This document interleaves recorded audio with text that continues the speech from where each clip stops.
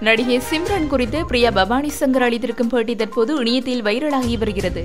Tamil cinema உலகில் முன்னணி நடிகையாக திகழ்ந்து கொண்டிருப்பவர் பிரியா பவானி சங்கர். முதலில் இவர் செய்தி வாசிப்பாளராகத்தான் மக்கள் மத்தியில் அறிமுகமானார். அதன் மூலம் இவர் விஜய் டிவியில் ஒளிபரப்பான கல்யாணம் முதல் காதல் வரை என்ற சீரியலில் நடித்தார். இந்த சீரியல் மூலம் இவருக்கென்று ஒரு தனி ரசிகர் பட்டாளம் சேர்ந்தது. அதன்பின் இவருக்கு சினிமாவில் பட வாய்ப்புகள் கிடைத்தன. நடிகர் வைபவ் நடிப்பில் வெளிவந்த மேயாதமான் என்ற படத்தின் மூலம்தான் பிரியா பவானி சங்கர் தமிழ் சினிமாவில் என்ட்ரி கொடுத்தார். பின் இவர் கடைக்குட்டி சிங்கம் படத்தில் நடித்து மிக பிரபலமானார். அதனைத் தொடர்ந்து இவர் நெல்சன் இயக்கத்தில் எஸ் ஜி சூர்யா நடிப்பில் வெளிவந்த மான்ஸ்டர் படத்தில் நடித்திருந்தார். இந்த படம் சூப்பர் ஹிட் கொடுத்தது. அதன் பின் ஹரிஸ் கல்யாண் பிரியா பவானி சங்கர் நடிப்பில் அறிமுக இயக்குனர் கார்த்திக் சங்கர் இயக்கத்தில் வெளியாகி இருந்த படம் ஓமன பெண்ணே. இதனை அடுத்து சமீபத்தில் அருண் விஜய் பிரியா பவானி சங்கர் நடிப்பில் வெளியாகி இருந்த படம் யானை. இந்த படத்தை இயக்குனர் ஹரி இயக்கியிருந்தார். சமீபத்தில் சிம்பு நடிப்பில் வெளிவந்த பத்து தள படத்தில் பிரியா நடித்திருக்கிறார். இந்த படம் ரசிகர்கள் மத்தியில் நல்ல விமர்சனத்தை பெற்றிருந்தது.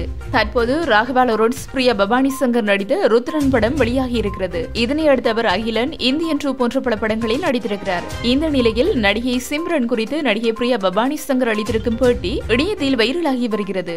அதாவது சமீபத்தில் பேட்டியொன்றில் பிரியா பவானி சங்கர் கூறியிருந்தது இந்த நடிகையிடம் இது இல்லை என்று சொல்லவே முடியாது. அவங்க சிம்ரன் மேம் அவங்க பிளாஸ்டிக் சர்ஜரி எதுவும் செய்யாமல் முடி ஸ்ட்ரைட்னிங் செய்யாமல் இருந்தவர்.